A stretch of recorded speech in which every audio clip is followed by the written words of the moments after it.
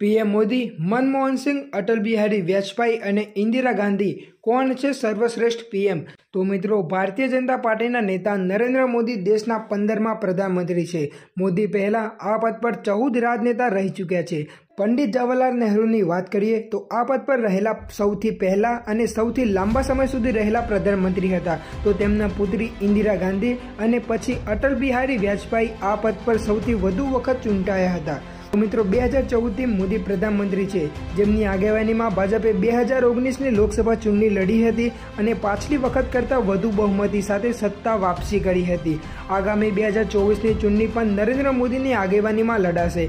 બે હજાર ચોવીસની ચૂંટણીમાં હવે માત્ર એક જ વર્ષ જેટલો સમય બાકી રહ્યો છે. તેવામાં તમામ રાજકીય પાર્ટીઓ તૈયારીમાં લાગી ગઈ છે. ખાસ કરીને ભાજપ મિશન મૂડમાં લાગી રહી છે.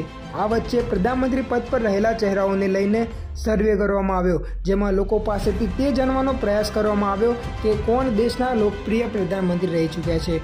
તો મિત્રો, આજના વિડીયોમાં તે વાત કરીશું કે કોણ દેશના લોકપ્રિય પ્રધાનમંત્રી રહી ચૂક્યા છે. તો મિત્રો, તે પહેલાં તમે તમે ગુજરાત યુટ્યુબ ચેનલને સબસ્ક્રાઈબ ના કરી હોય તો સબસ્ક્રાઈબ કરી દેજો.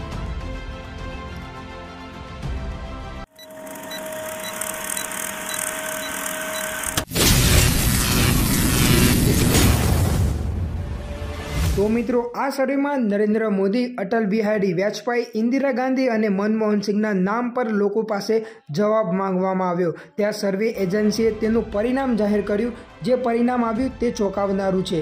સર્વે એજન્સીનો દાવો છે કે તેમના સવાલો હજારો લોકોએ જવાબ આપ્યો અને તેમાંથી સુડતાલીસ ટકા લોકોએ નરેન્દ્ર મોદીને સર્વશ્રેષ્ઠ પ્રધાનમંત્રી માન્યા છે. ત્યારબાદ સોળ ટકા લઈને અટલ બિહારી વાજપેયીને સારા પ્રધાનમંત્રી ગણવામાં આવ્યા છે. ત્યારબાદ India Today C the voter survey પ્રમાણે કોંગ્રેસના નેતા ઇન્દિરા ગાંધીને બાર ટકા લોકોને સર્વશ્રેષ્ઠ પ્રધાનમંત્રી માન્યા છે. તો મોદી પહેલાં પ્રધાનમંત્રી રહેલા ડૉક્ટર મનમોહન સિંહને માત્ર આઠ ટકા લોકોને શ્રેષ્ઠ પ્રધાનમંત્રી સ્વીકાર કરે છે. નોંધનીય છે કે બિન કોંગ્રેસી પક્ષોમાંથી માત્ર અટલ બિહારી વાજપેયીએ અને નરેન્દ્ર મોદી આટલા લાંબા સમય સુધી પ્રધાનમંત્રી પદે રહી ચૂક્યા છે. જો નરેન્દ્ર મોદી બે હજાર ચોવીસમાં પણ પ્રધાનમંત્રી બનશે, તો ઇન્દિરા ગાંધીને બરોબરી કરી કરી લેશે. તો મિત્રો, ત્યારબાદ થોડીક વાત કરીએ તો દેશમાં પ્રધાનમંત્રી પદ પર સૌથી ઓછા સમય સુધી રહેનારા નેતાનું નામ ગુલચારી લાલ નંદા છે. તેઓ ભારતના પહેલા કાર્યવાહક પ્રધાનમંત્રી પણ હતા અને તેઓ આ પદ પર તેર દિવસ સુધી રહ્યા હતા.